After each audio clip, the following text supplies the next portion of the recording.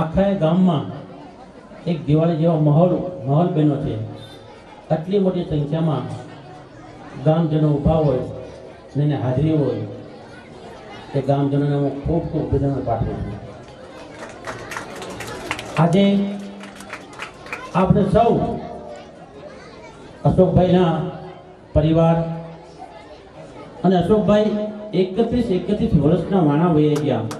આ દેશની સુરક્ષા માટે એકત્રીસ વર્ષ સુધી જેણે જેમણે દેશની સરહદો ઉપર આ દેશનું રક્ષણ કર્યું અને આજે નિવૃત્ત થઈ પોતાના માદરે વતન પરત આવ્યા ત્યારે આવડો માહોલ જોવા મળે છે.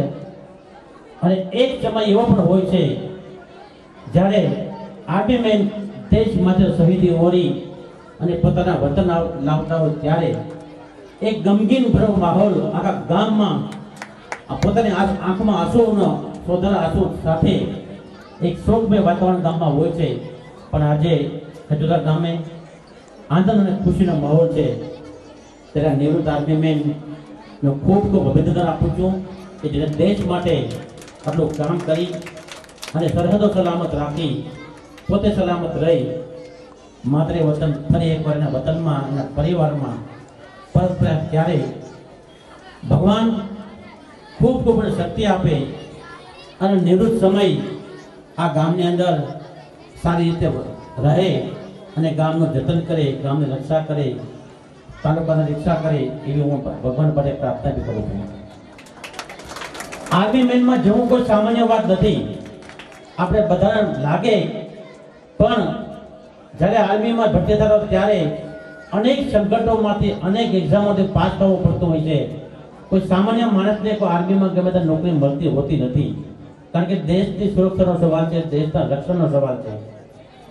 ગૌરવની વાત કહી છે, છેલ્લા પાછલા પંદર વર્ષમાં વર્ષો સુધી એક સામાન્ય પરિવારનું કે સમાજનું, બક્ષી પંચ કે ઓબીસી પંચનું શોષણ થતું ત્યારે પંદર વર્ષ પછી આપણા સમાજમાં એક એજ્યુકેશન ભણતર, અભ્યાસ, દીકરા હોય કે દીકરીઓ હોય, મારી બધાને વિનંતી છે કે જ્યાં સુધી આ મોદી સાહેબ છે મોદી સાહેબ સરકાર છે ત્યાં સુધી જે લોકો ભણશે ભણશે, દીકરો હોય કે દીકરી હોય, એક પણ રૂપિયાનો રૂપિયાનો ખર્ચ કર્યા વગર, મેરિટના ધોરણે એક પણ ભ્રષ્ટાચાર થયા વગર તલાટી મંત્રી હોય, શિક્ષક હોય જંગલ ખાતામાં હોય, કે અલગ અલગ આર્મીમાં હોય, કે મિલિટરીમાં હોય, કે પોલીસ ડિપાર્ટમેન્ટમાં હોય સંપૂર્ણપણે એને સ્વચ્છ રીતે સ્વચ્છ કોમ્પિટિશનથી એને એને નોકરી મળે છે.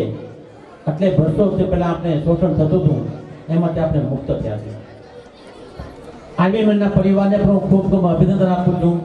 તેમની સાથે પધારેલા એક આર્મી મેન વેરાવતી પણ આપણે વિજયભાઈને બધા હાજર છે. અહીંયા નિવૃત્ત નિવૃત્ત આર્મી મેનની પણ હાજરી હોય ત્યારે આ ગામની અંદર કાંઈ વિશેષ ન કહેતા.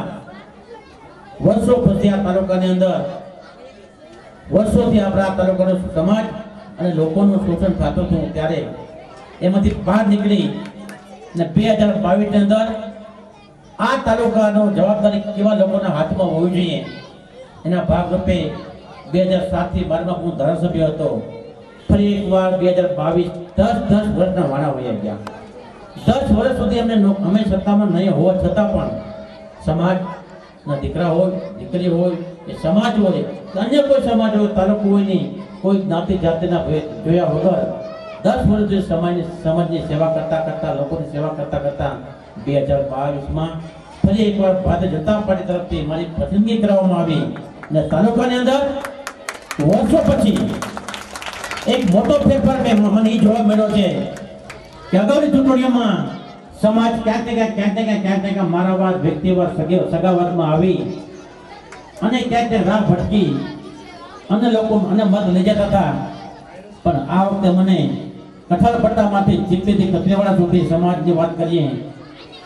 કલ્પના એટલી મોટી લીડો નથી, એટલી બધી સમાજના સમાજના લોકોએ અને યુવાનો અને માતાઓ, બહેનોએ અને વડીલોએ આટલો સહકાર, આટલો સાથ સહકાર આપ્યો. હું તમને વિશ્વાસે ખાતરી આપું છું. આજે દસ મહિના જેવો સમય થઈ ગયો છે. પણ જ્યાં સુધી તમે મને એટલી મોટી જવાબદારી આપો ત્યારે તમે આપેલો મત ક્યારે પણ મેળે ન જવા દે, ન જવા દેશો, એવું તમને ખાતરી વિશ્વાસ આપું છું. જ્યારે જ્યારે મારી જરૂર પડે, ત્યારે ખજુદાર ગામ માટે સંપૂર્ણપણે હું વિશ્વાસ સાથે ખાતરી આપું છું. મારે કામ કરવાની તૈયારી છે. વિશેષ પ્રકાર ન કહેતા. ફરી એકવાર આપણે અશોકભાઈના પરિવારને અને અશોકભાઈને હું ખૂબ ખૂબ અભિનંદન પાઠવું છું અને એને હું હું આવકાર પણ કરું છું. વિશેષ પ્રકાર ન કહેતા. ફરી એકવાર એમના પરિવારને, અહીંયા અને ગામજનોએ, અહીંયા અશોકભાઈનું, તેમના પરિવારનું નિવૃત્ત આર્મી મેન હોય કે કે- પછી જે એક્સપર્ટ થયેલા આર્મી પરિવારનું જે અહીંયા સન્માન કરવામાં આવ્યું તે બદલ હું આ પરિવારનો ખૂબ ખૂબ આભાર માનું છું. ધન્યવાદ. અસ્તુ. નમસ્તે મિત્રો, હું છું ચાંદની પરમાર. આપની મનપસંદ ચેનલ એટલે કે દીવ મિરર ન્યૂઝ ચેનલને લાઇક કરો શેર કરો અને ફોલો કરો. અને હા, તેમાં દરરોજ તાજા સમાચાર જોવાનું ભૂલશો નહીં. નમસ્કાર દર્શક મિત્રો, હું છું પાયલ બાંભણિયા આજના મુખ્ય સમાચાર, દેશ વિદેશ, ગુજરાત રાજ્યના તાજા બ્રેકિંગ સમાચાર નિહાળો દીવ મિરર ન્યૂઝ ચેનલ પર દરરોજ રેગ્યુલર